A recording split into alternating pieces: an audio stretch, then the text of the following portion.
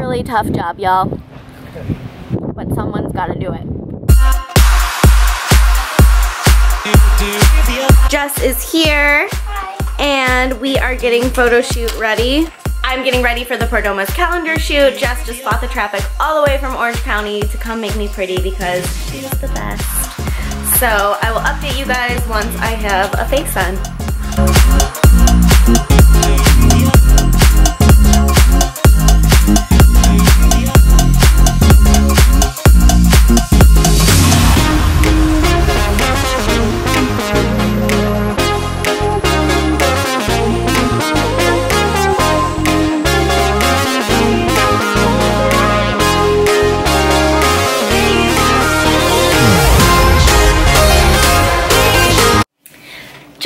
Finished up makeup. Jess is amazing. Thank you, girl. Take a look at these eyes. So now I need to bring my hair to life and I will be headed over to the Venice Boardwalk. That is where we are shooting. If you are in the LA or Orange County area, I will put all of Jessica's information in the description box below. So if you need your makeup done, definitely hit her up. She's the best. Hair is done, makeup is done, and we are off to the Pardoma shoot. Here is a little sneak peek at one of the looks that I'm going to be wearing. We are headed to the Venice Boardwalk, gonna shoot a couple of looks, and hopefully now one down for the calendar. We have arrived at the Venice Boardwalk here with Matt, and we are getting ready to shoot, but we need to find the perfect location first. And also, we need to find my prop. Well, there's some sort of power outage going on um, on the Venice Boardwalk right now. So after a 30 minute trek back and forth, we finally found one stand that is open because the most important part of the shoot is happening here. So it just occurred to me that there's a power outage, but these people are still able to cook my french fries. So really wondering, how do you make fries without power? If anyone has an answer for this, comment below. I'm confused. I guess we'll find out. Got my photo shoot prop. We are ready to go. If you guys are familiar, we are on Venice Beach at the graffiti wall. Yes, I'm in my Cubs jersey and I've got my fries and that pretty much sums me up. Our little assistant Maverick, he was such a trooper and he sat and posed for the perfect shot so he gets rewarded. Alright y'all, we just nailed, I think what we got was the perfect shot for the calendar and a couple of other really fun ones with Maverick. Can't wait to show you guys. It'll be a 2017 calendar with lots of great stuff for you. So we're so excited to launch it and I will keep you guys posted on all the details. Just got back from the shoot. We stopped at the firehouse on the way home and grabbed a little bit of lunch. I had um, a chicken and egg white scramble with green peppers, onions, mushrooms, and cilantro, and it was delicious. And now I'm home laying in bed. I don't care what anybody says, photo shoots are exhausting. I'm gonna sit here and try and just relax for like a minute and then put my gym clothes on and it is leg day today. No excuses because it is improvement season and this is where the work really counts. I wasn't lying y'all, I finally got my butt up and got to the gym, but this power outage is serious here in Venice. The entire power is out at Gold, so this should be an interesting workout today.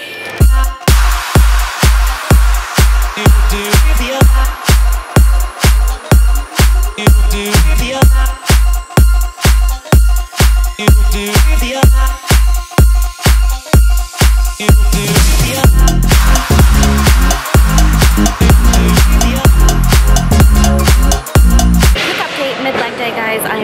getting much footage for you because I am trying to just power through this workout. There has been a power outage in Venice and all the electricity is out here at Gold's which means no fans at all and it is hot AF. So I'm currently on the leg press. I'm about three-fourths the way done with my workout. I will catch you guys in the next clip.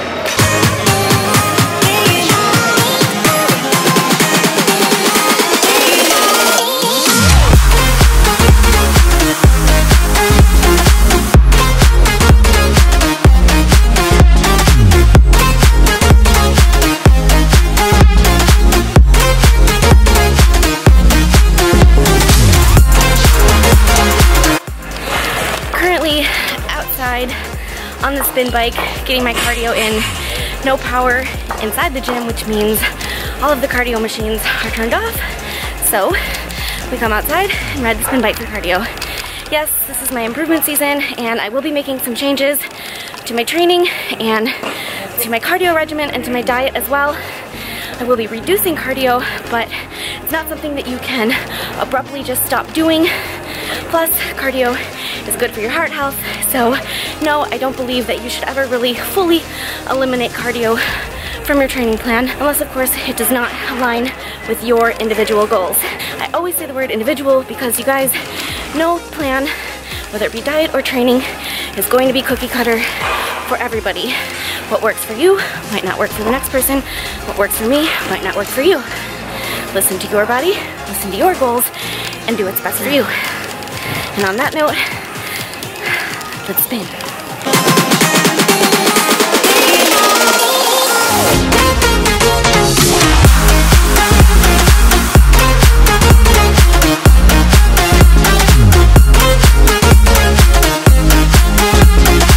What's up, guys, I am home now just working on client programming. No, I still have not taken off this makeup from my photo shoot earlier because it is just too dang pretty.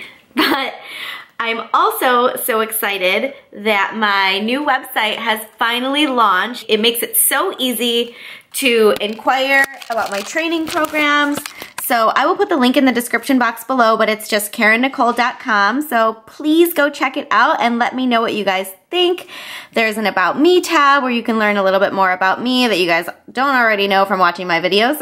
Online coaching tab, blog tab where I'll be updating with weekly recipes, motivation tips, training tips, things like that. A link to my YouTube channel, some client testimonials, and right here, the first thing you see on the homepage is inquire now. So if you just want more information about my training programs, all you have to do is put in your name and your email address and what you're interested in, and that will be sent right to me. So it makes it super easy.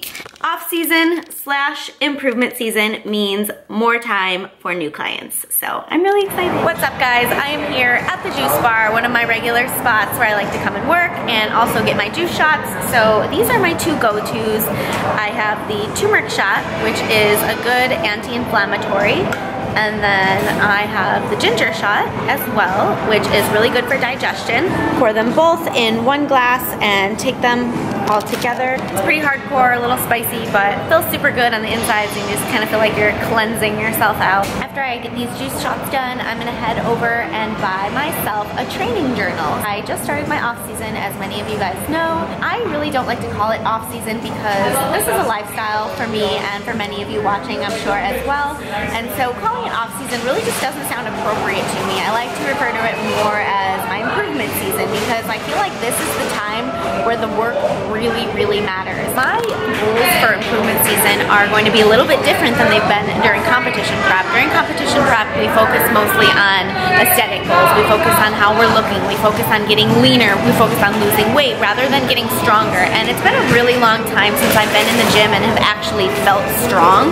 So I'm really excited for this improvement season and my goals for my improvement season, again, they're not going to be aesthetic based. They're going to be, they are going to be all strength based. I am going to buy myself a training journal. I used to have one and throughout my competition prep season, again, it's mostly aesthetic based. So I base most of my progress on my progress photos and how I was looking rather than how much weight I was lifting in the gym. Now that my goals have shifted and I'm focusing on strength gains and building muscle, I'm definitely going to be keeping really close, close track of my progress as far as how much weight I'm able to lift in the gym. Keep myself accountable and make sure that I'm staying on track with that. I'm going to buy a journal, and yes, I'm going to be bringing the journal with me to every gym session, and I'm going to log everything. I'm really excited to start that, and I will keep you guys posted on everything and my progress as far as my strength gains go. If any of you guys use journals while you train, please comment below and let me know what you think, and if it's something that helps you. I feel like when we just go through the motions and we aren't keeping track of our progress, we don't actually stop and realize how much progress we're making. It's hard to see our progress in the day-to-day. -day. We're often focusing more on the big picture rather than the small little improvements that we're making, when in reality, it's those tiniest and the smallest improvements that add up to the big one. My goals are shifting right now with it being improvement season. Like I said, it's been a really long time since I've actually felt strong in the gym, and so um, I'm gonna be making some diet changes and obviously some training style changes as I just talked about with you guys, and I'm just really excited to feel strong again. Yes, I'm very excited about making these strength gains and making a different kind of progress than I've been used to, but I would be lying if I told you that I wasn't a little bit nervous. Um, if you watched my video where I talked about to compete or not compete, you might remember that I mentioned that I truly have not taken an off season since 2012. So it's been a long time coming. Yeah, I've taken some small breaks here and there, but nothing that I would ever really consider a legitimate off season or improvement season. So I would be completely lying if I told you I wasn't a little bit nervous.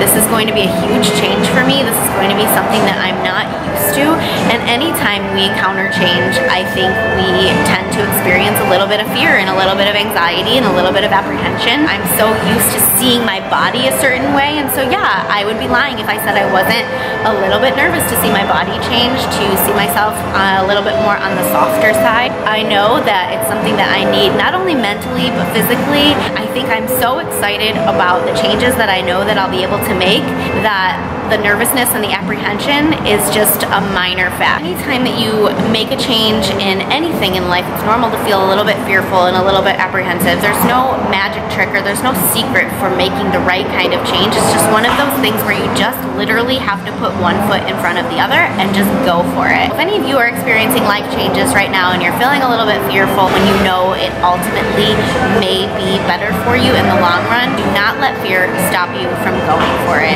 Keep your goals in mind and just go for it. If you wait until you're ready, you will be waiting for the rest of your life. There's no time like the present, guys. We are never guaranteed a tomorrow. So if there's something you want to do, if there's something that you feel a passion for, if there's something that you are excited about, you honestly just have to go for it. That's my little rant for today. I am going to take my ginger and turmeric shot and then head out to get my training journal. I hope that all of you guys enjoyed this video today. If you did, please remember to give it a thumbs up and please subscribe to my channel if you have not already and I will catch you guys next time.